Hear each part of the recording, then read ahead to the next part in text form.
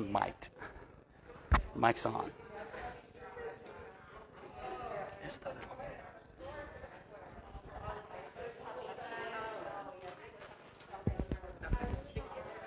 So let me know if she. So I'll have her with me all the time, for whenever she does get here.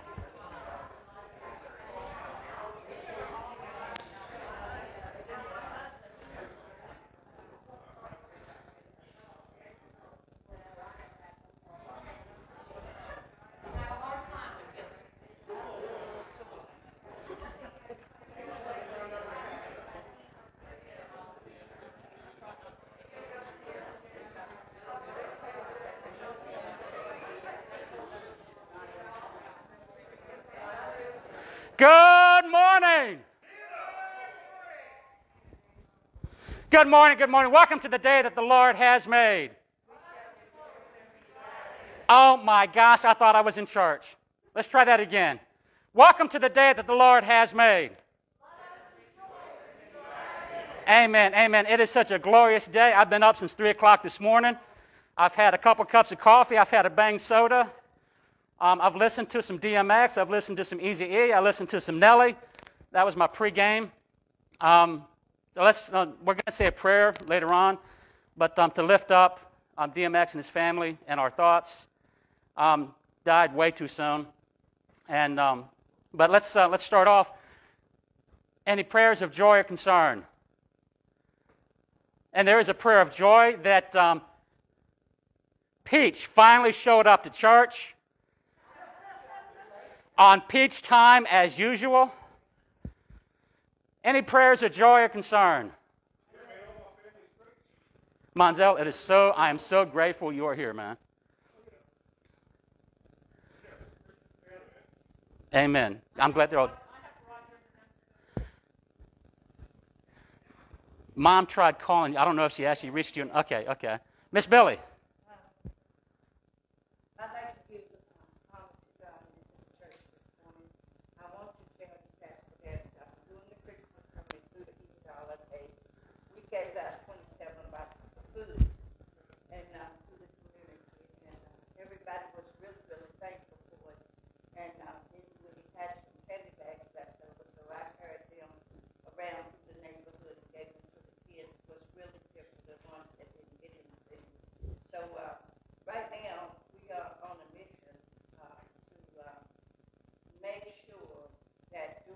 summer if we can get people to bring food. I know we may not have the summer lunch program, I don't know. But if we do, that'd be good. But if we don't, we need to make preparations to, the, to give children some food to, on the weekends, the families that's here in Richmond, because uh, they will not get school lunches anymore, and they will not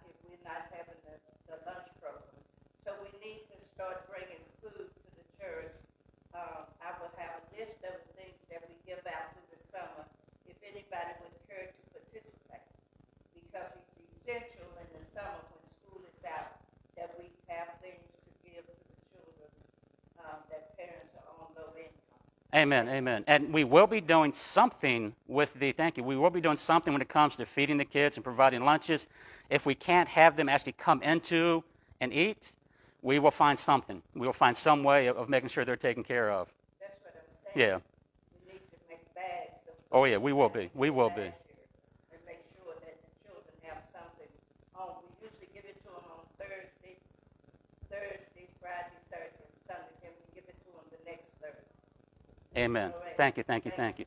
Any other prayers of joy or concern? Karen. I just want to thank Calvary for hosting the service. Amen. Amen. And I want to thank the SPRC, SPPRC, for working with me to figure out what is uh, the most fair and equitable way of doing this. Um, one of my passions is, is family. And um, it is my passion that um, while we are two churches and we do have two different ways of doing things, um, I love the fact that we have somewhere in the neighborhood of now that Beth and Kez has finally shown up, the mouth that roared. Um, it is, and I'm so grateful to have, you know, we got somewhere close to 40 to 45 people here today. Um, so it is fantastic to see more people in these pews. And um, starting this week, um, Miss Billy, can we rip this daggone tape off of the pews? I would like to see it gone, and I know we can still sit where we're socially distancing, but I do not like the reminder anymore um, of where we're being forced to socially distance. I think that as long as we remember, and um, my, my COVID team here um, will remind people to, to not sit so close if they're not in the same household, then I think that's, that's just another step forward where we can start to get back to a little bit of normalcy. Um, so let's pray for the churches. And Karen, as you said, it is wonderful to see everybody in here. Um, it's a good mixture of, um, of both churches. Um, any, other, any other prayers of joy concern? Yes, sir. Amen. Amen. That is a very good thing. That is a very good thing. Any others? Going once. Going twice. So one of the things that we mentioned one word here that is very the common theme is is a word is a word of thanks. So instead of having the ushers um, to pass a plate around because number one we, we don't like that because people you know it's COVID. But I do want to, while we're taking the plates back to the back of the sanctuary where they'll be for you to put in your tithe and your offering, is let's bow our heads, let's close our eyes, and let's just say a prayer of thanks real quickly. So if you could, bow your heads and close your eyes. Heavenly Father, number one, thank you so much for the day that you have made and allowing us to be able to rejoice and be glad in it. Thank you so much for, for the blessings that you've given upon us. Thank you so much for the blessings of, of both of these churches, for the blessings of being able to come together and worship as one family under God, working for you.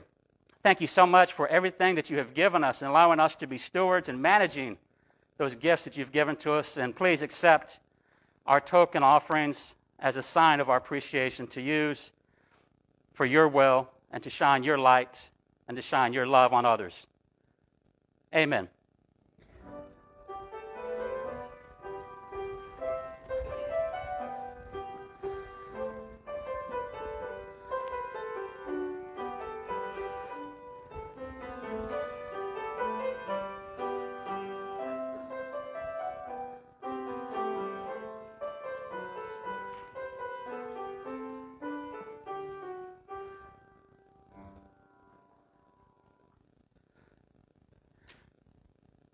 Know, and one of the things that I love about church these days, in this age that we find ourselves in, is it's not just those in the sanctuary.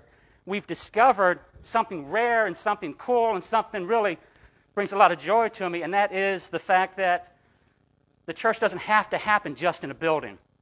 So we have people here in the sanctuary. We have people in each of their homes that are watching online. Um, I have family in Tennessee that are watching. There's people from both churches that watch the live streaming. Um, so let's say welcome to our e family, our electronic family. So on the count of three, say good morning and welcome. One, two, three. I'm surprised Brittany's actually up at this hour, but if you could, please rise and join me in the call to worship. For those of you that are unfamiliar with how we do things, I will raise my hand. Hey, Paige, can you hear me? Thank you, thank you. So when I raise my hand, that is when you all will follow along after me. And when I put my hand down, then that is where just I talk. And Peach is my, um, my, my go to when it comes to whether or not I know people can hear me because her hearing is so bad, and I don't know if she has a hearing aid on or not. So if she can hear me, I know everybody else can.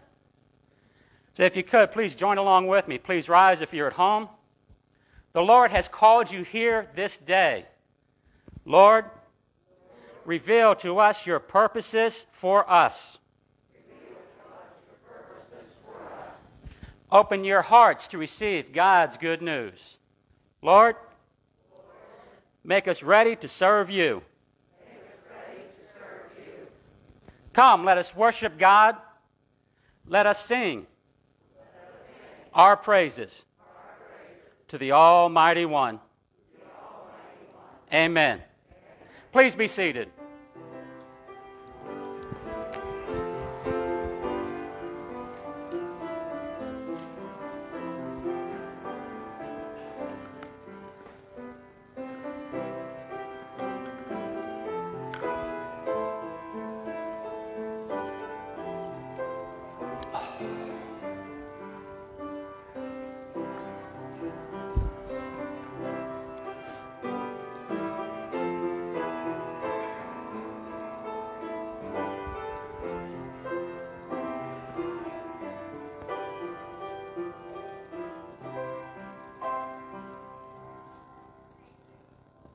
Thank you, Jim. Thank you, thank you, thank you. If you could, if, if every head, head could bow and every eye could be closed. Heavenly Father, the darkness of winter has been our companion. Now the days are getting longer. Bring your light to us that we might see your glory and may work for you, offering hope and peace and freedom to this world. We ask this in Jesus' name. Amen. And the people said, Amen. Amen.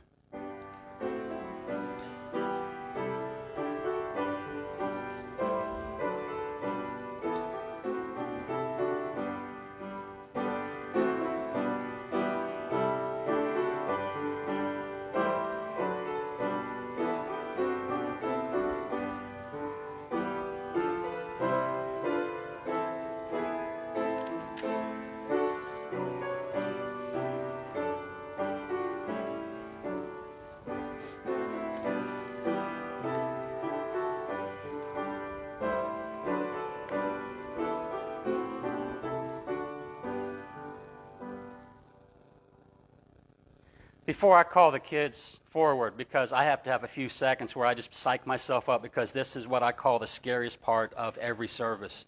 It's the children's moment, because you never know what's going to come out of either my mouth or theirs. So if you could, let's bow our heads and, and close our eyes one more time. Patient Lord, you know how accustomed we are to, to magic tricks. Our spirits and our senses get fooled easily we would be just like the disciples, at first not believing what we were seeing, and then wanting to take a monument to the event. Thank you for being so patient with us. Forgive us when we get so wrapped up in the moment or get so wrapped up on ourselves that we don't take time enough to understand the significance of what the moment is that we find ourselves in. Help us to pause, to reflect, to think, and to thank you for the blessings of unexpected revelations. Give us wisdom and strength to be your, your disciples, proclaiming your transforming love to all people. Amen. And the people said, Kezia, if all the kids could please come forward. All the kids, come on. You too, Monzel. Right here, right here in front, right here in front. All the kids down here to where Monzel is.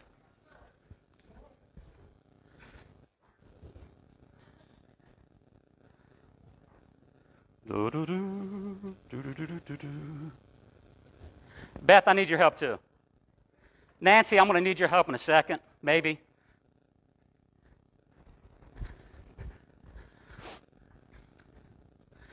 So, Kezia, you got to stand up. Stand up for me. You got to.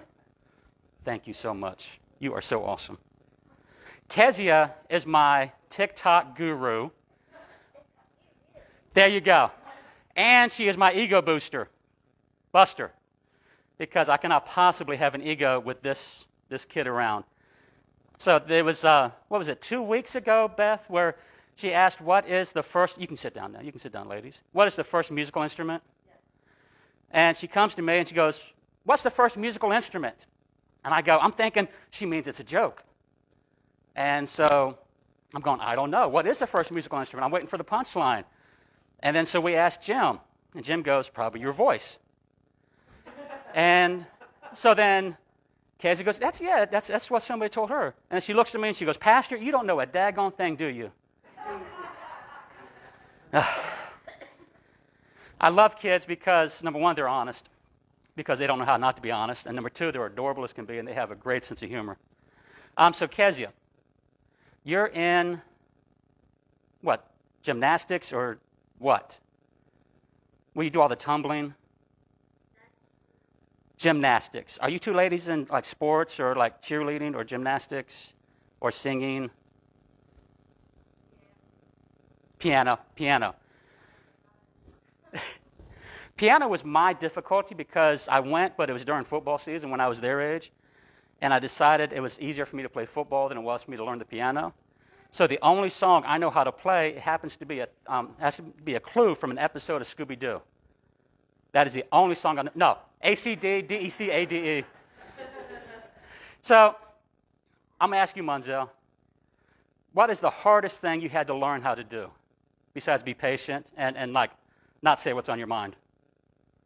Um, the hardest thing I had to learn how to do was to, um, I would say, you want to know younger? Younger, younger, younger. Uh, how to tone it down, how to, how to just try to fit in with everybody else. You've done such a great job with that, too. oh, yeah. Yeah. No, he hasn't. so, one of the things that, that Christ asks us, asks us to do that is very, very difficult, and that is put others before us. So that when, when we do something, we're doing it for others, we're not doing it for ourselves. Like the one time, I think it was last week or week before last, we talked about how hard it is to forgive. It's very hard to live in love. And it sounds like it's an easy thing, but when you were playing the piano, was it very hard to learn how to play the piano at first? Very hard. Gymnastics, was it very hard the first time you had to do it? I mean, could you do a cartwheel here? No. Beth, can she do a cartwheel? Yeah. When she first started, how hard was it? She was two. So, Kaz, you want to do a cartwheel together? Good, because I can't do one. Yeah, see, now that was not going to happen. I'm 52 years old. I do not do cartwheels. So let's, let's take a moment. Let's think about how hard it is for us to learn gymnastics, for us to learn how to play the piano, for us to learn how to fit in and, and tone it down. So, what was the hardest thing you had to do as a kid? okay, so these three are the ones that were successful. These two have not been that good at what they, what they thought they were going to do. High five. There you go. So let's think about how hard it is to do some, to do some things that Christ and God is asking us to do. Like always think of others, always love, and always forgive. Because we've always been loved, even when we're not the most lovable. Let's be honest. Are there some times when your, your, Beth's not here, your mom's not here? Are there some times when you know, they might have to get after you? It's kind of hard for you not to be here if you talk. So let's think about how they extend the grace to us. So it's our job to also extend the grace back to others and the love back to others. So let's bow our heads and say a prayer real quick. Heavenly Father, thank you so much. Thank you so much for the, the gift of the cross. Thank you so much for leading by example, for being our coach to teach us these lessons that are very hard to learn on our own, but it's through you, through your coaching and through your, your lessons, that we are able to love others as you want us to love others, that we are able to do for others and think of others as you are able, as you ask us to do for others. Please help us to continue to grow and to learn these lessons. In your name we pray. Amen. Little kids, big kids, you are dismissed. Monzel, you can't go. You can't go a place, man. You need some help getting up.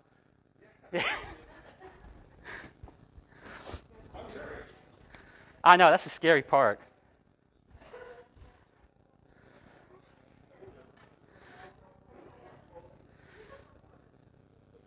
So I started doing, practicing with having little video children's messages over the last few months, just tinkering around, seeing how well they would be received.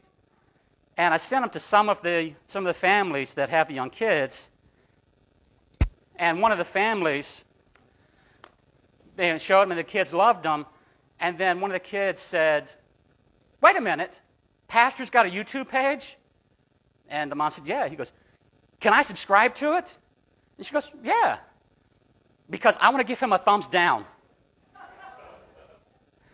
Uh, he gave me a thumbs up, but I love kids because they keep us young and they keep our minds focused on what is really important in life. So, as we could, let's remember the churches, and we talked, you know, Miss Billy did a great job telling us about what our goals are with feeding the kids this summer. And there's also about clothing people, giving, helping people out that are needy, helping people out that are the, you know, they're the ones that are ostracized, they're the ones that are marginalized. And it is one of our joys and one of our blessings to be able to help those that are in need of help. And that takes your support, whether it's by time or by money or by imparting wisdom. Now, the, the gifts that you give the church um, are very, very much appreciated, and it allows us to continue to do the work that, that we need to do. So, if you could, please bow your heads and close your eyes for me. Heavenly Father, we continue to hold on to the celebration and triumph of Easter. As we look back over the last year, we realize that many of us can identify with Thomas's doubt. Can we be the church, the body of Christ, when we can't see the body gathered in our sanctuary together? Yet Christ has opened our eyes to his risen body that can't be confined by walls and is not diminished by precautions and social distance. And as we make our gifts available to him, we affirm the resurrection power that we have seen. And so we say again, Hallelujah in the powerful name of Jesus. We pray as he taught his disciples to pray Our Father, who art in heaven, hallowed be thy name. Thy kingdom come, thy will be done, on earth as it is in heaven. Give us this day our daily bread, and forgive us of our trespasses, as we forgive those who trespass against us. Lead us not to temptation, deliver us from evil. Thine is the kingdom and the power and the glory forever. Amen. And we do have our offering plates, as I mentioned earlier at the start of service, we do have our offering plates in the very back of the sanctuary. Um, so please, if you could, we appreciate all of your gifts.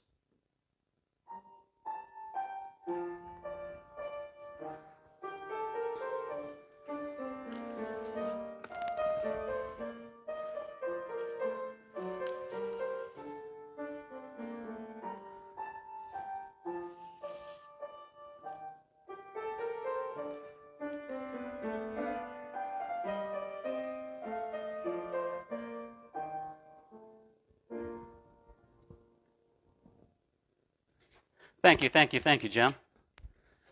I always love hearing Jim play. A little bit different than my music choice of this morning with my pre gaming, but I, I, I, still love the music.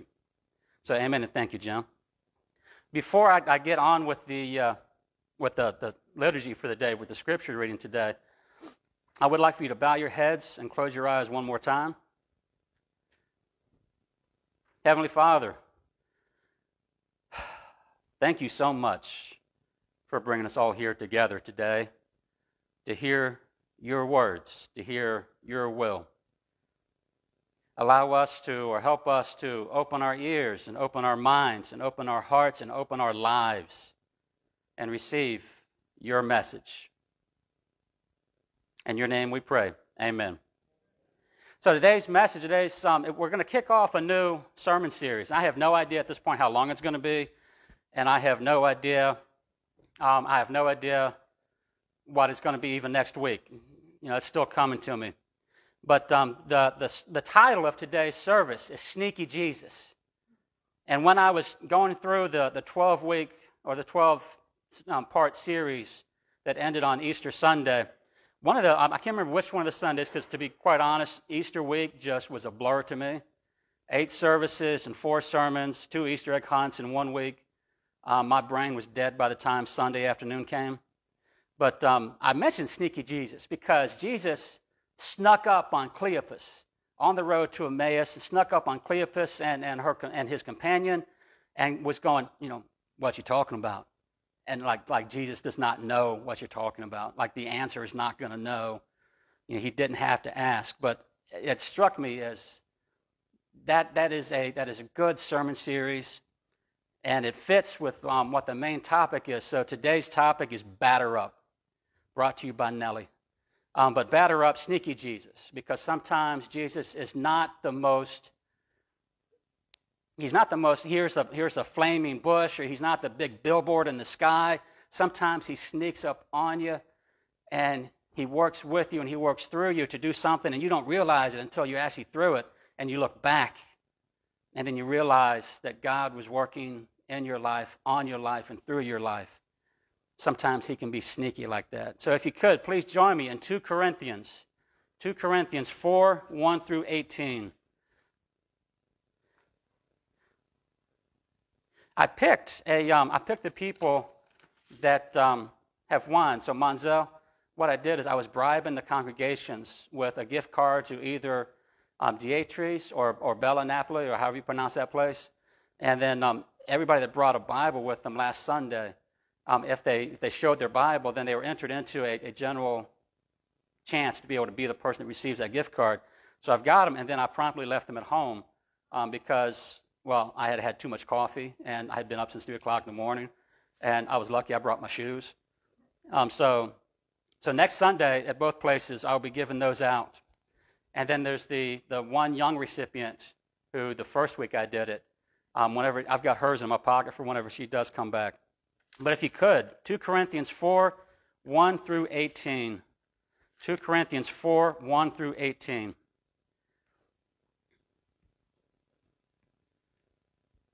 Whether you're in the Bible or your Bible app, 2 Corinthians 4 1 through 18. Therefore, seeing we have this ministry as we have received mercy, we faint not, but have renounced the hidden things of dishonesty, not walking in craftiness, nor handling the word of God deceitfully, but by manifestation of the truth, commending ourselves to every man's conscience in the, in the sight of God. But if our gospel be hid, it is hid to them that are lost in whom the God of this world hath blinded the minds of them which believe not, lest the light of the glorious gospel of Christ, who is the image of God, should shine unto them. For we preach not ourselves, but Christ Jesus the Lord, and ourselves your servants for Jesus' sake. For God, who commanded the light to shine out of darkness, hath shined in our hearts to give the light of the knowledge of the glory of God in the face of Jesus Christ. But we share this treasure in, in earthen vessels, that the excellency of the power may be of God and not of us. We are troubled on every side, yet not distressed. We are perplexed, but not in despair. Persecuted, but not forsaken. Cast down, but not destroyed. Always bearing about in the body the dying of the Lord Jesus, that the life also of Jesus might be made manifest in our body. For we which live are, are always delivered unto the death for Jesus' sake, that the life also of Jesus might be made manifest in our mortal flesh. So then, death worketh in us, but life in you. We have in the same spirit of faith, according as it is written, I believed, and therefore have I spoken. We also believe, and therefore speak. Knowing that which that he which raised up the Lord Jesus shall raise up us also by Jesus, and shall present us with you. For all things we are, are for your sakes, that the abundant grace might through the thanksgiving of many rebound to the glory of God for which cause we faint not, but through our outward man perish. Yet the inward man is renewed day by day. For our light, our, for our light affliction, which is but for a moment, worketh for us a far more exceeding and eternal weight of glory. While we look not at the things which are seen, but at the things which are not seen. Let's go through that one more time while we look not at the things which are seen, but at the things which are not seen. For the things which are seen are temporary, but the things which are not seen are eternal. And so is today's word. Amen.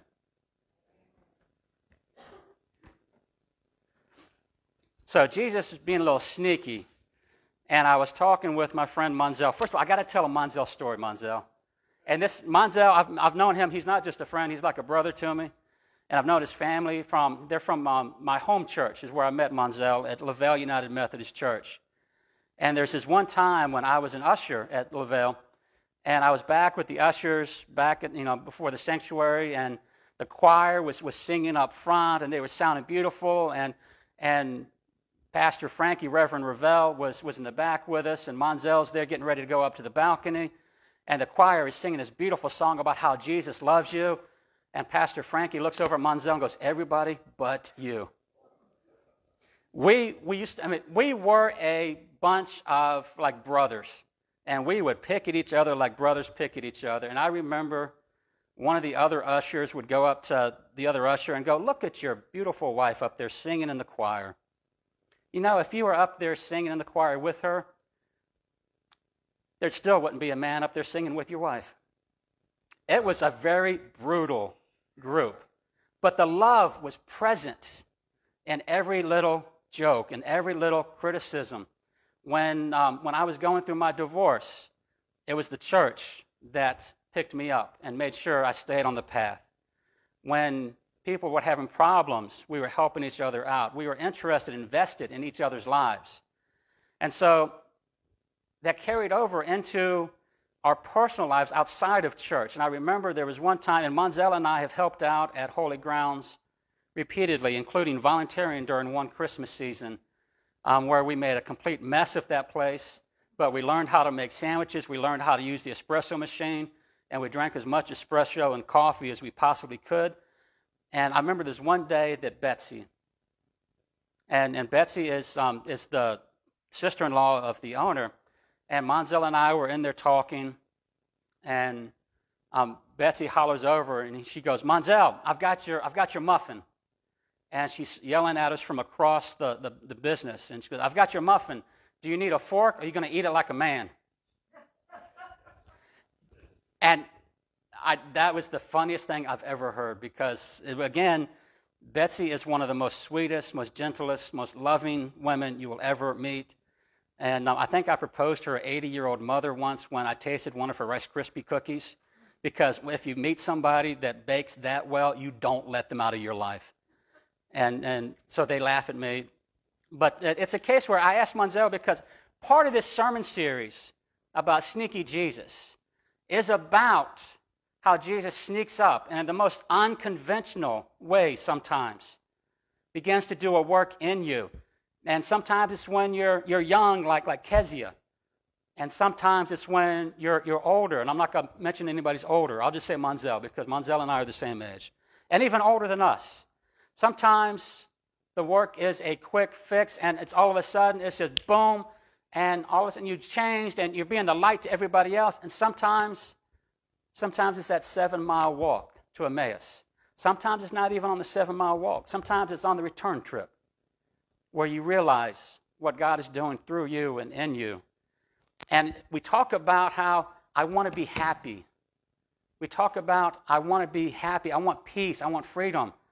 And here's where it comes from when God works through you and you open your hearts and your lives to His will and His word and his ways, all of a sudden you realize that's where your joy comes from. And sometimes it's a very unconventional place. And some of y'all are going, how, you know, I can't believe they were saying that about each other when they were in LaVale or at the, at the coffee shop. Those are some of the happiest moments of my life. And I remember the first sermon I delivered. Uh, my mom was, was sick as a dog with the flu, and she sat in the back of the sanctuary at LaVale. And, and I'm nervous because this is my home church. And I start to preach, and it was on Acts 3 2. And I'll never forget it because I look over to the side, and who here knows Pastor Bernadette Ross? Raise your hand. She is, she is another mom to me, and she is one of the rare people that I will listen when she gives me a lecture. I'm sometimes not even my real mom, but I, I, will, I will humor my real mom. But so I look over to the side, and there's my former pastor, my, one of my faith mentors, Pastor Ross. And if y'all know her, you know she's a very, she, she knows. And I go, I can't look over there. I'm going to get too nervous. So I look over here to the side and I see Pastor Ravel, who is my current pastor at the time. And he's got some guest pastors with him. And I go, I can't do that. Let me look beyond Pastor Ravel. And then I see, um, I see Cindy. And I see Cindy Morrill. Does anybody know Cindy Morrill? Cindy Morrill has, has she used to teach Sunday school at, at LaVale for 40 some years. And she was even a teacher of home ec. And Wade, her husband, was, was a teacher of, of um, shop classes and for the longest time. And she was, she's the most sweetest woman you'll ever met, you'll ever meet. And, you know, she was right behind Frankie. I go, no, let me look over here again. And then right behind Bernadette, there's a gentleman by the name of Tim Donaldson, who has been very heavily involved with the, with the conference for some 1,500 years you know, long. And I can't, and I realize I'm in my family. I'm with my family. Let's do it. Let's have fun with it. And I'm going to grow from it. And I did. But it was a case where I realized it's, it's ridiculous to be nervous about that. Because when you are with family, you can be authentic. You can be vulnerable. You can pick at each other. You can tease each other. And still know, like I pick at Peach left and right deservedly so. Monzel, I pick at left and right. But I love him like a brother. I love Peach like another mom. And it's one of the most amazing things. You get that joy, and it's not from somebody else. Because if you're looking for joy and peace and, and happiness from somebody or something or some place, that's temporary. It's not going to last. But when you put it in the Lord and when that Holy Spirit comes into your life, that's where that joy, that happiness comes from. And so, with that being said, before I, I start talking more, because I can talk about this forever, I did ask Monzel to come talk with us. And um, he asked me what about, and, and I said, I have no idea, just rant and rave, man. Just, just go off on a tangent, and, and we'll see if the place stands up afterward. So I want you all to please welcome Monzel and give him your attention.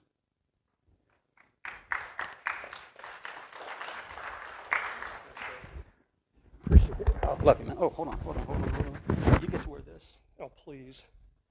Oh, it's for those I people. got a big mouth. It's, it's anybody for, who doesn't it's for those people. So I'm going to put the microphone Oh, okay. For them? right there. That's good. Perfect. You don't get my coffee, though. I don't drink coffee. It's all good.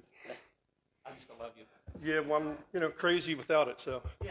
All right, well, look, you know, I'm here to talk about youth, all right? I am all about the kids, all about the kids. And quite frankly, I don't care what people think about me and how I get my results. It's the kids that matter. I've been doing this for almost 27 years. That's three quarters of my adult life that I've been working with kids. I came in here today and I sat on the parking lot and I'm like like Pastor Brent, I'm listening to my music, getting prepared to hang out with the kids. And people keep getting out of their cars and I don't see any kids. And I don't see any kids. I don't see any youth. And I'm thinking to myself, what's going on here? If you don't have kids, you don't have a future. You got to get the kids in here. You got to get those families 35 and under in here. 10 years when you guys are not teaching classes and not, you know, doing the things that you're doing now, who's taking over? I don't see anybody sitting here right now taking over in 10 years. You got to get the younger families in here with the kids. That's where the church is going to grow. All right? Give me a minute here. I got a couple of things I need to grab. All right. I'll start out. I apologize for that, but like I said, I'm passionate about the kids, and I, that, that's why I'm here. All right. So, a little introduction about myself. All right. I'm a father. Um, I've been helping with youth uh, for 27 years. Like I said, I've been a coach, a referee, a youth leader, a youth pastor, a Sunday school teacher, a mentor. Um, I've worked with youth in local theater for probably close to 20 years. Um, you know, I'm here to show the kids the way. All right? And everybody has a different way of doing that. I can't do it like you do it. I can't do it like you do it, or you, or you. I have to do it the way I know how. 2 Corinthians 12, verses 9 and 10. And he said unto me, My grace is sufficient for thee, for my strength is made perfect in weakness. When I am weak, I am strong. I'm nobody. I'm Monzel. But the kids respond to me because I'm real with them. I don't pull punches. I don't play games. I don't try to pull the wool over their eyes. Kids grow up differently than we did, okay? They have access to things we didn't have access to until we were in our eight, in our late teens or early 20s. Any kid that has a cell phone or access to a computer, they got porn in their pocket 24 7. They can go watch, you know, I've had kids talk to me about the dark web. I didn't even know how to get to the dark web. And I got kids 13 and 14 saying, Have you ever seen this? Have you seen that? I ain't seen that. I didn't even know it existed. I should have. I should have because I work with the kids. Talk to them, listen to them. All right? Good and the bad. You got to have it both ways. You can't have it just one way. You can't have it that you got to come in here, sit down, be quiet until church is over. Kids don't respond to that. They're not raised that way today. They were not raised the way you were raised. What worked for you is not going to work for them. You got to be real with the kids, I'm telling you. They can spot a fake a mile away. And if you start preaching to them, they're done. You got kids that I like to look at it as a circle. Okay? In the inner circle, you got your core. Most churches, that's about 10 to 15 kids. Okay, I'm just going from the biggest to the smallest and packing it in there. So 10 to 15 kids. That's your core group. That's going to be there no matter what. Then on the next circle, the next round, you've got maybe 20 more kids. They're the ones that are going to come for your events, or they're the ones that are going to come with their friends just to hang out. They didn't come to hear anything about this. They came because they want to hang with their friend. It's my job to get them into this. Then you have the next group, that third circle. That's the outsider who comes because he was forced to come or she was forced to come. Mom or maybe grandmother, whoever's taking care of them, said, You're going to go do this. So they come. But they sit over there in a corner don't really talk to anybody, have their earbuds in, they're sitting there with their hoodie up, hunched down, not interacting at all. That's the kid I want. That's the kid I'm going to talk to. That's the kid I'm going to get to know. Again, I come in here today and I don't see any kids. I know COVID is a thing right now and a lot of people don't come to church, but I would almost bet that if there were five teenagers in here on a regular Sunday, that might be pushing. Church is going to die if you don't get the kids in, guys. That's bottom line. Center Street's a perfect example. They did wonderful things for a long time. They are stuck in their ways. They wouldn't bend to today, to what the kid today needs. It's got to be this way. It's got to be that way. You can't do it any other way. And now that church is gone. Can't be like that. When a kid comes in here or a kid passes you on the street and they got their pants down around their ankles, that drives me insane. But I'm still going to say something to the kid. Hey, man, I'm walking past him. How you doing? I'm still going to say something to the kid. Who cares if he ignores me? Who cares if he responds to me? 90% of the time, that kid heard you. And if I do that every time I see that kid, whether he responds or not, eventually that kid's going to be looking for me. Oh, he went by and didn't say anything. I wonder why. You know, we've never really talked. But he knew that I said hi to him all the time. You got to get started somehow. Their world's different than ours. You got to understand that. What worked for you is not going to work for them. And I've said that many times already, and I'll probably say it a thousand times more. All right? Talk to them about life, okay? Talk to them about the things that they see in school and what they're watching on TV, okay? Don't hide them from things. Yes, we want to protect them. We want to keep them from making mistakes that are going to hurt them. But sometimes you have to let them make those mistakes. As a parent, sometimes you have to say, is the consequence for this bad enough that I really need to step in? Or do I let them learn the lesson? Because if you step in every single time, they never learn the lesson. You got to let them fail sometimes. Nobody wants to talk to kids about drugs. Nobody wants to talk to them about sex, alcohol. Nobody wants to talk to them about suicide. How many suicides have we had in the schools here in the last five years? One too many. If it was only one, that's too many.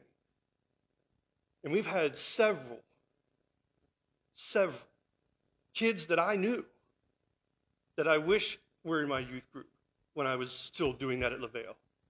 Right now, I don't, I don't have a youth group anymore. Um, I, I, I was, my, my year, two years was up, and I stepped down from that position, let somebody else take over. Do I still talk to kids? Absolutely. I came in here today. I grabbed Cameron. I went back in the back and talked to him. I was like, man, I've seen you before. I said, do you go over to Holy Cross? Do you go over to Pastor Brent's other church and for the after school program? Oh, yeah, I go there sometimes. That's where I've seen you. We shot basketball, didn't we? Oh, yeah, that was you out there. Yeah. He remembered silly little things like that. I'm 52. I can't play basketball with him, but I go out and shoot horse and clown around with him. Who do you think is going to get through to a kid quicker? The guy who is taking time to invest in them and hang out with them and talk to them and be real? Or the guy who's preaching to them, telling them what they're doing wrong, telling them how they have to do things? Which guy is making a difference? It sure ain't the preacher. Because as soon as you start preaching to a kid, they're done. They've tuned you out. They don't hear another word. I have four sons that range from age 22 to 29. I'm sorry, 27. 27. I do have six sons. I had two from marriage, so, um, but I didn't get to raise the oldest two. But the four sons that my wife Julie and I have, they're not perfect, but they're good people. I'll take a good person any day. Okay? My youngest son, way more intelligent than I am, studying microeconomics and business and working on his master's degree from home now. You know? He talks to me sometimes, and I'm like, I don't even understand what he's saying. I mean, that's just the truth. But I listen to him because it's important to him. If a kid wants to tell you something, listen to him. Just listen. You don't have to agree with them. Just listen to them. Hear what they have to say. Find out what's going on in their mind.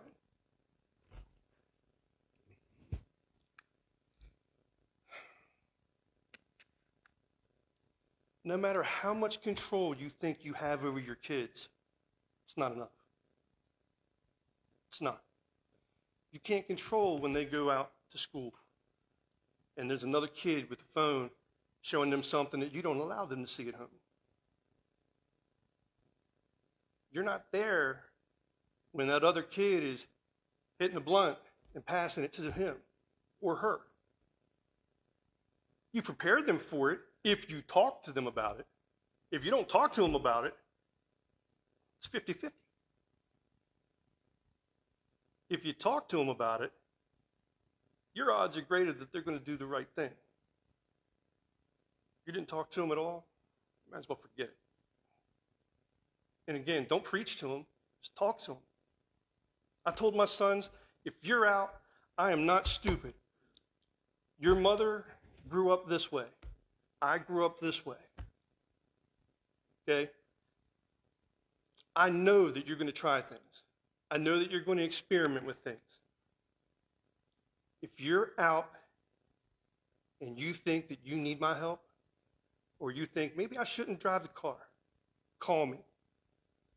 No questions asked. I'll come and get you. And they've all taken me up on that. Now, did I growl at them that night? Did I fuss at them that night? No. I couldn't remember that. I went and I picked them up. I told them everything would be okay, and I took them home. Now, the next day is a different story. okay? The next day, they got, this is not going to happen again. but that night, they didn't need that that night. That night, they needed me to be there for them. And I was. You got to let them be who they are. Guide them as best you can. But if you try and make them something they're not, one, they're going to be miserable. You're going to be miserable. They're going to decide for themselves. As they're growing up, we teach them the values that they need to have. But ultimately, they have to make those decisions for themselves. 13 year old. Do I let him learn a lesson? Or is this something that's a little more serious and I need to protect them? All right? That's going to be different for each person in here. But you still have to make that choice. You still have to let them make mistakes sometimes.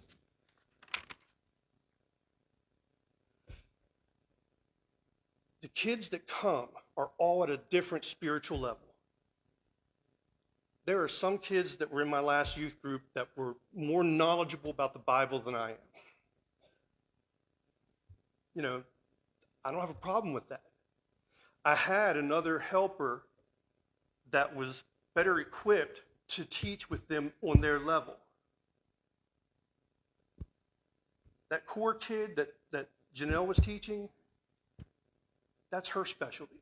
My specialty is the kid that's over there. You got to be real with them. You got to be real with them. I had a young man in my youth group that went with me to an event called The Rock down in Ocean City every February. Took him for like seven years. Always kind of in trouble, doing some things he shouldn't have been doing.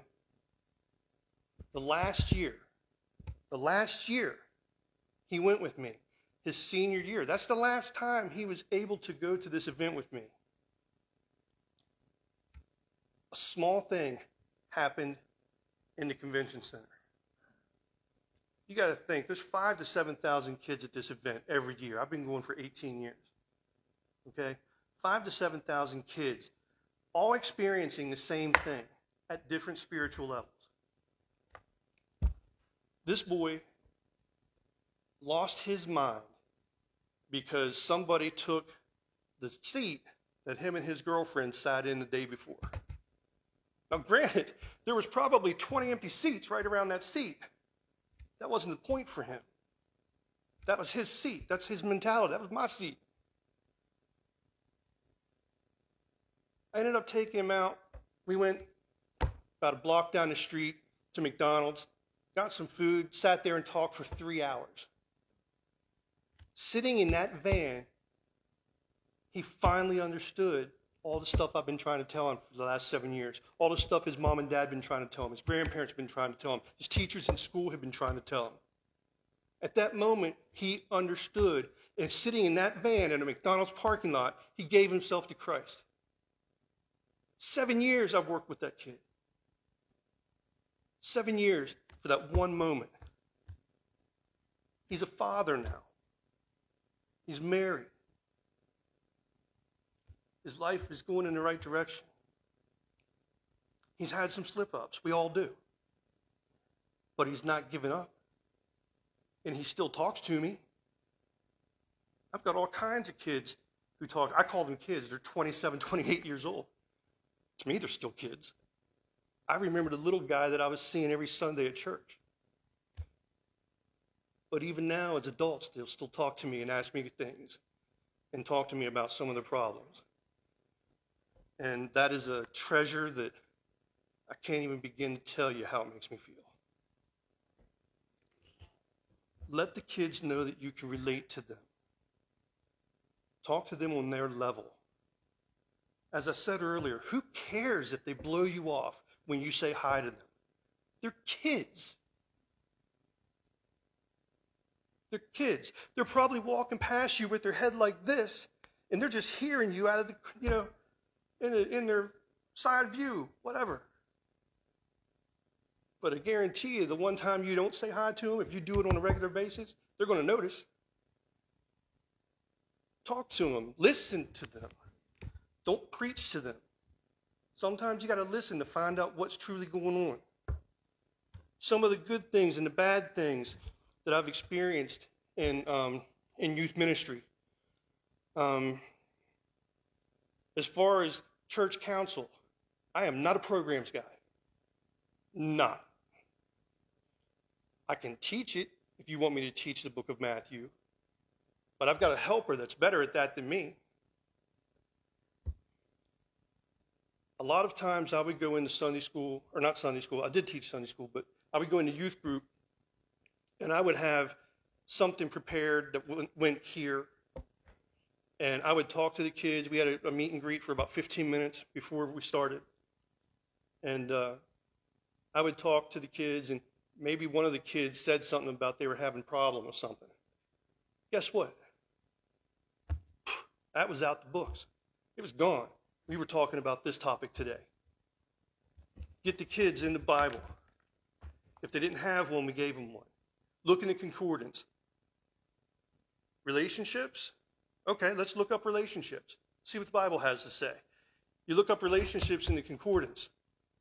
You might have 10 to 20 examples. You go and you start reading them. Maybe the first seven don't relate to you at all, has nothing to do with your, your particular issue. That eighth one might. That's how I taught. You have a problem, let's talk about it. And let's not just talk about it, you and me. I can give you my life experience, tell you what I experienced, but I can't tell you how to handle your experience. It's not my job. My job is to give you some knowledge. Let's look in the Bible and see what that says. That's what we'll do. Again, one of the bad experiences for me money, the church, council. I am not a conformist. I do not fit into a nice little box to do what you want me to do. I am not here to make you happy. I'm not here to make you happy. I'm not here to make you happy. I'm here to take care of that kid. And I'm going to do that any way I can, whether it makes you mad or not. Because you are not my concern. You're an adult. You cared enough about that kid, you'd be out there talking to him. You can't say you care about the kids, but you don't do anything with them. You can't say you care about the youth and you're not hanging out with them. It doesn't work that way. You go to their games, whether you want to or not. You go to the recital at school. You go listen to them play in the band. You go watch them play soccer. You go do whatever. As long as that kid sees you there, they know you care. That's all that matters. At the end of the day, that's all that matters is the kid knows you're there for them. And you're doing your best to give that kid the information he needs.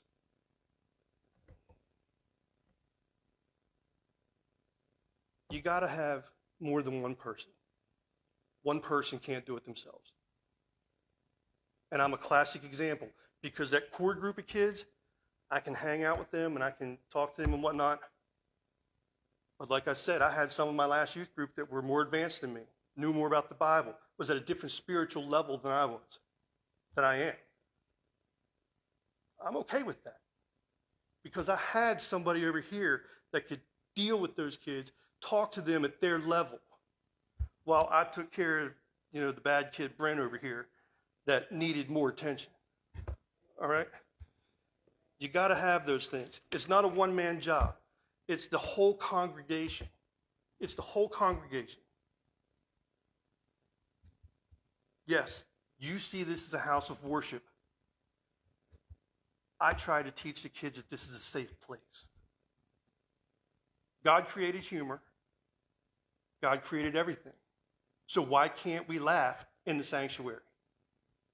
Why can't Pastor Brent and I tell stupid, corny jokes? Why can't Pastor Ravel bring out his banjo and his little puppet and, you know, relate with the kids? If that's what works for him to get through to that kid, that's a no brainer every day. That's a no brainer. All right? You got to, you, you have to be willing to do that. Because I'm not here all the time.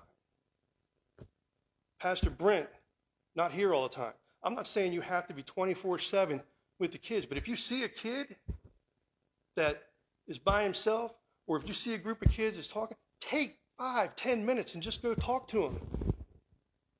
Hey, what's going on, man? Oh, shooting some hoops? Yeah, I, I used to shoot. Oh, man, that's horrible. I didn't even hit the rim. Who cares? You're hanging out with the kids. You're at their level. You're being one of the crew. You're not preaching to them, you're just hanging out. That means more than you guys will ever know. Support the kids, support the congregation. Okay? Funds, money are always an issue for kids. You want to take, and, and this, is, this is what I would do personally. I would try to do four events a year. Um, rock was my number one. That was my go to. Um, I've also done Acquire the Fire, I've been to Creation. Sometimes you don't get a lot of people when you do creation because it is so expensive. But rock, you can take a kid to Ocean City for a three day Christian teen convention for about $105. I've taken groups as small as 12. The largest group I ever took was 93. Yes, some of those were adults because they got to have supervision. But think about that. 93 kids went to a convention center in Ocean City to hear about the Word of God, to listen to speakers talk about God, to listen to bands who played Christian music. Doesn't have to be an organ every Sunday. Yes, it's good to have those. It's very good to have those. I love hymns. But kids, you got to get them in here first before they'll start to love those hymns. If they listen to heavy metal, go online, Google Christian heavy metal bands. You're going to find a bunch of them. When your youth group comes the next time, have that music playing. Not just exclusively that music. Have some contemporary Christian, Toby Mac. You know, Mandisa.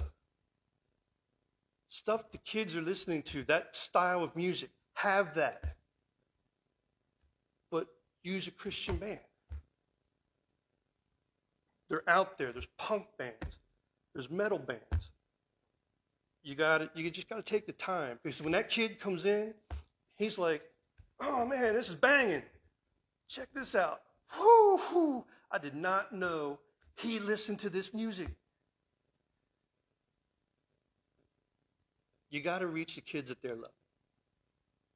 If you don't start at their level, you're getting nowhere. If you're demanding that they come to your level, immediately, you've already lost. Yeah, they may go through the motions, but I guarantee you they ain't sticking with it.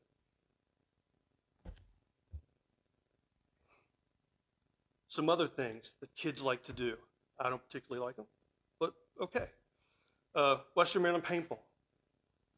Sky Zone. Take them down to Hagerstown to Sky Zone. Take them to, you know, Morgantown to an escape room.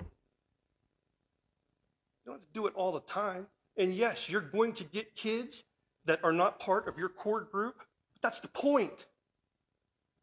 That is the point to get the kid that doesn't come all the time. If they don't have the money, find the money.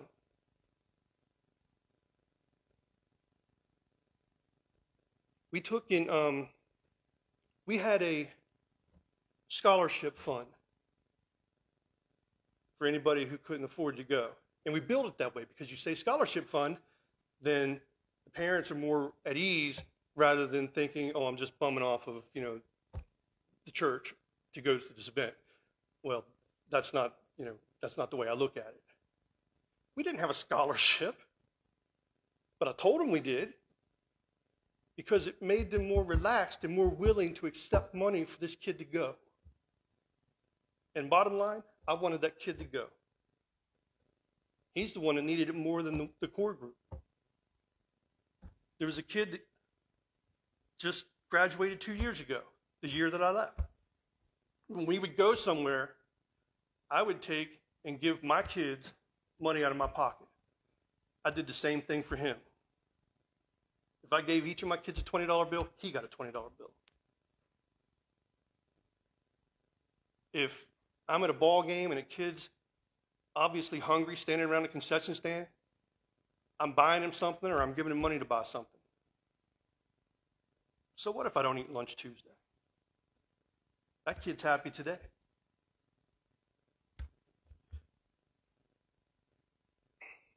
Ask yourself a couple of questions.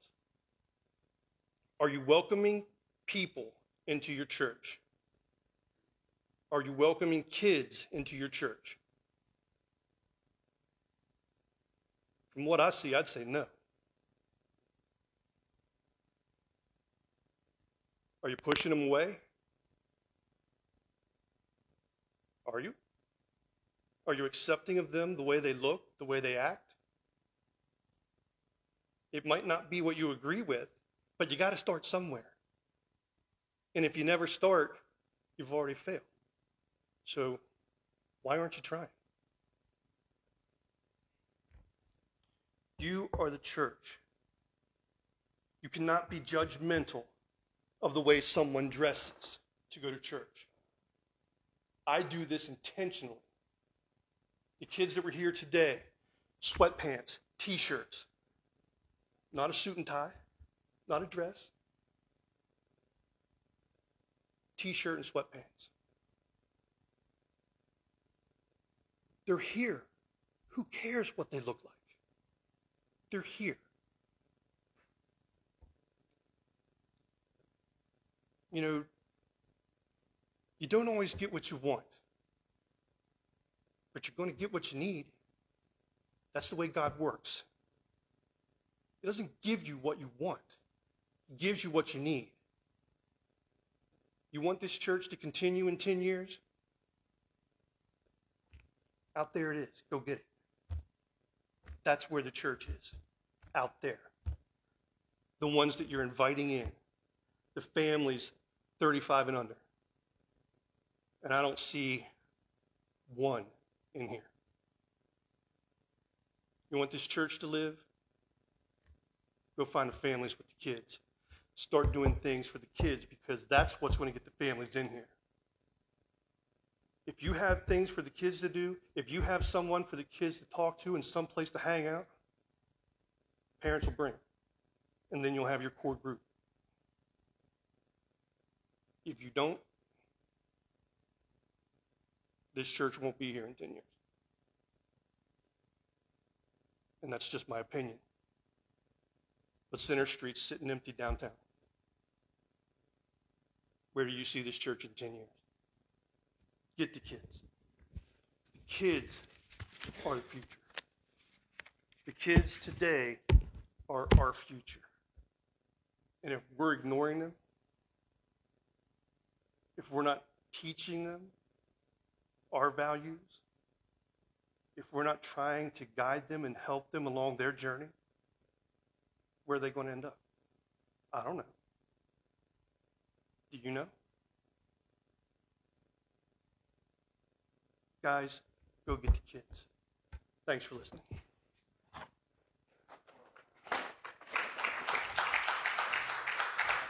Oh, man, wait, wait, wait, wait, wait, wait, wait. It's COVID, man. Oh, yeah. COVID.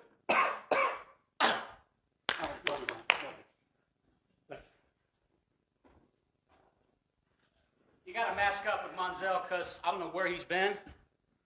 Um, how's prison life treating you? Well, you know, um, I'm still here. Yeah, yeah. Um, Monzel does work at the prison, and uh, it's one of those jobs that you just can't believe that these days somebody's actually going to be doing it. But I did not have any. I had a general idea of what Monzel was going to talk about because I know Monzel. I've known you since 12 years, maybe longer. Seems like forever. And um, have I told y'all who the tree girl is? Just give me five minutes, I'll wrap this up. The tree girl is there's this friend of mine named Joy, who I just threw under the bus really big time by mentioning her name. But I met her when I was 10 years old. And we had gotten back, we were living in Bowie, Maryland at the time. And I know you've gone, this is going to be long winded. No, it's going to be look, five minutes, I, I hope. But um, so I was riding my bicycle and I was riding around the, the community in, in Yorktown. You know, Yorktown was the community I was in, and it's in Bowie. And it's a big horseshoe, big U. And she lived with her family down at the center in the bottom part, and I lived up at the top part on one side.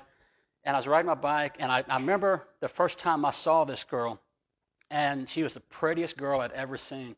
She's eight years old, and I was 10. And I was riding my bike by, and she's up in a tree, and she's got this beautiful blonde hair, and she's got this beautiful smile. And I go, I bet you, remember, I'm 10. I bet you if I ride my bike by really fast, she'll be mine. So I go around the corner one more time, and I am pedaling my heart out, pedaling my heart out, and she smiles and waves at me. And I go, Yeah, I bet you if I come by even faster, she'll be mine forever. And so I come around the corner, and I'm pedaling my heart out. I'm pedaling my heart. I'm going as fast as I can, pumping those, those pedals. And I turn the corner, and I get right in front of the tree, and my chain pops. And I wipe out. And she laughs. And we've been friends ever since. And she is who I call my tough love friend. And sometimes you need to have a little bit of tough love. And sometimes that tough love comes from God. Sometimes it comes from kids. But um, Joy, when uh, I was going through my divorce, I call her up and I go, Joy, I'm miserable. First of all, for those that you all don't know, I was married for 19 years. And then there was the divorce, and we had our reasons. But I called Joy and I said, Joy, I just feel like crying. And she goes, Well, then cry, stupid. I'm like, You, you, you do know there's a love besides tough love, right? And she goes, If you don't face the facts, if you don't deal with it, you're never going to get through it. And it's the same way when it comes to, because there are some people that on a Sunday they're going, the pastor's not talking to me. He's talking about somebody else. So I want to do this. Everybody stand up for a second, real quick. Just everybody stand up.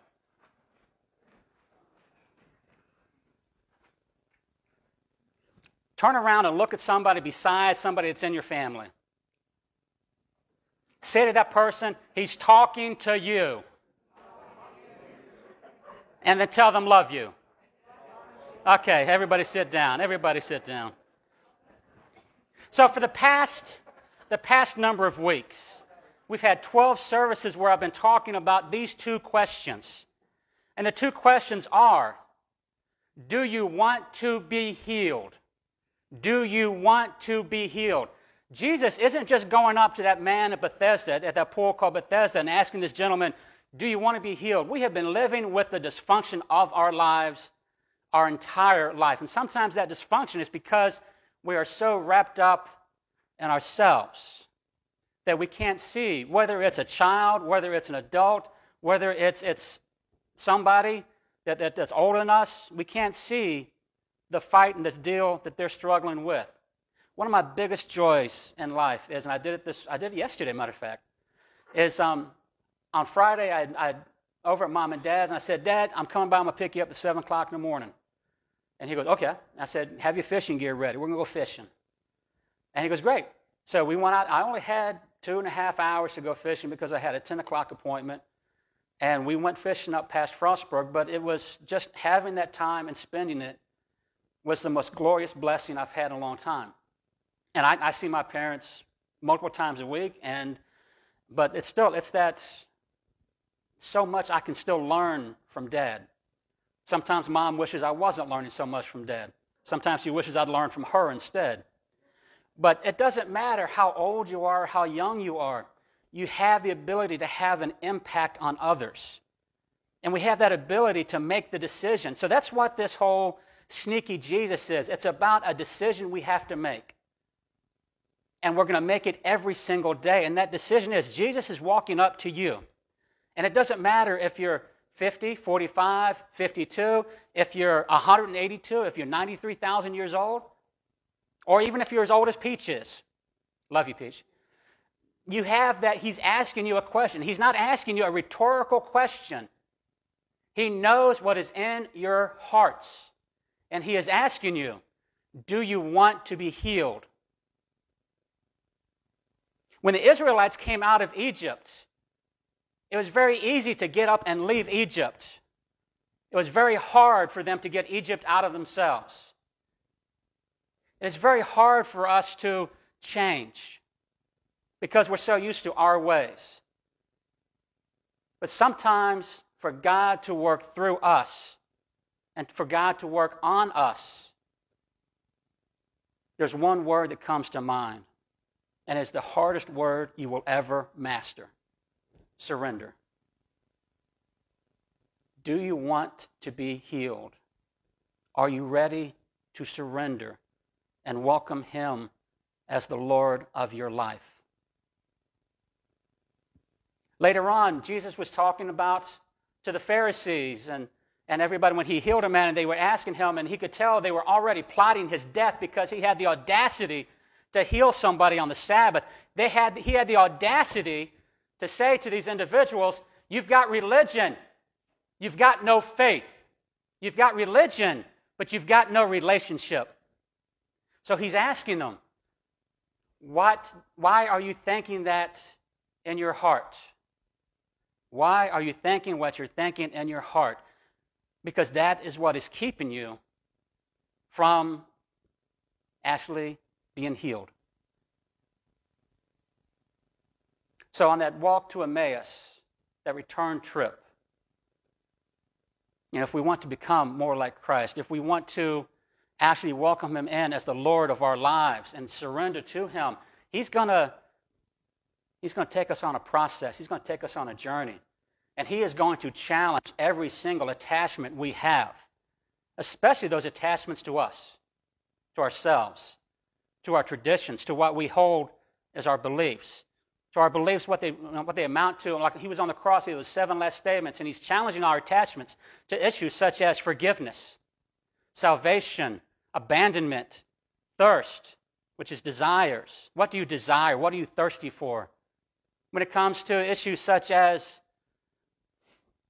whether it was the end or it was just the beginning. So many times we cling to where we've been that we forget that Jesus is asking us to go somewhere new. Not one of us is a finished product. We are all still in the works to be finished. Not one of us is finished.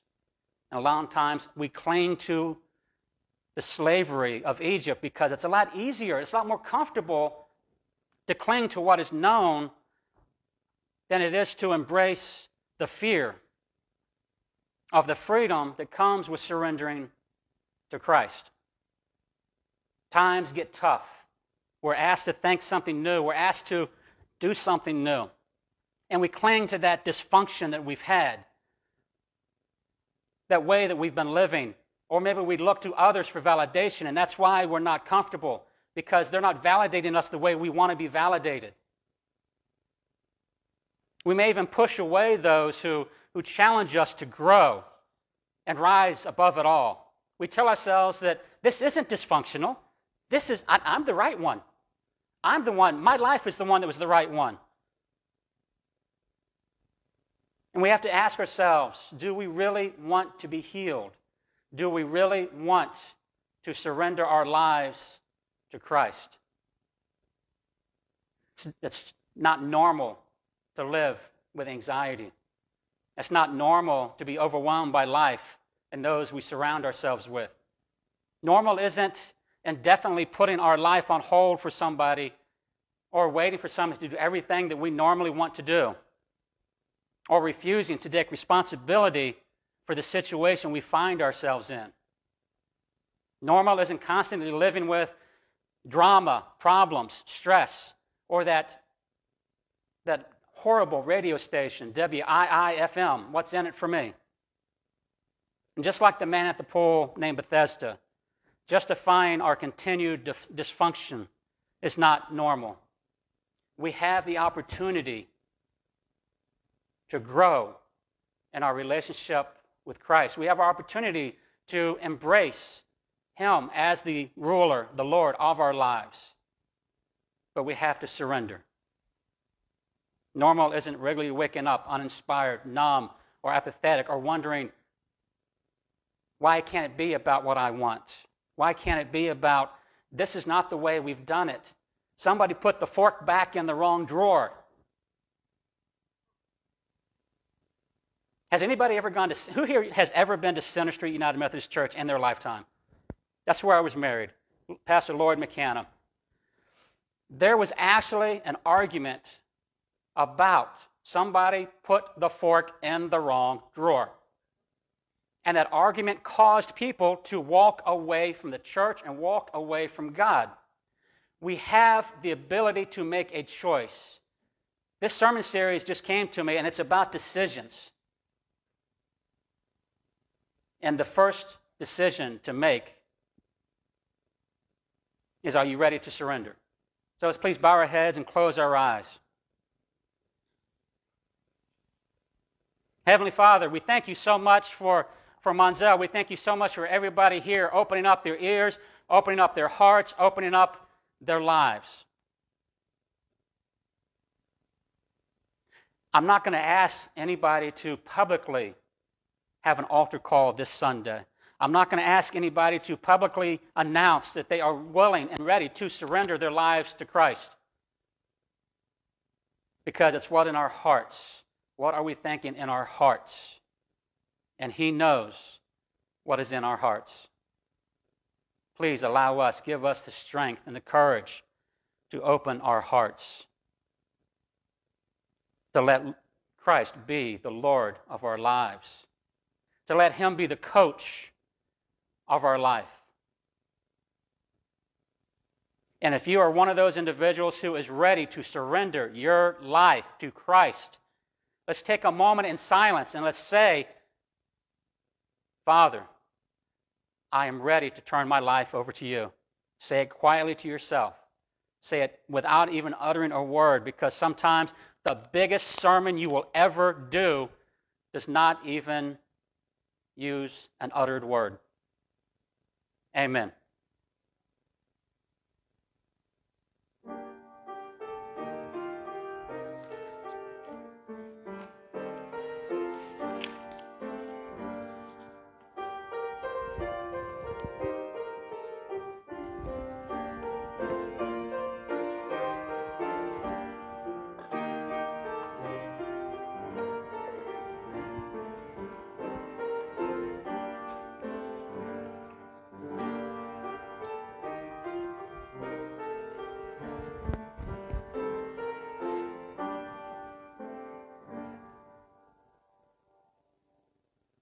Two things to mention before we go today. Number one, um, the 25th, the last Sunday of this month, we will be able to have um, the return, um, returning the gratitude that, that we have for Holy Cross coming here.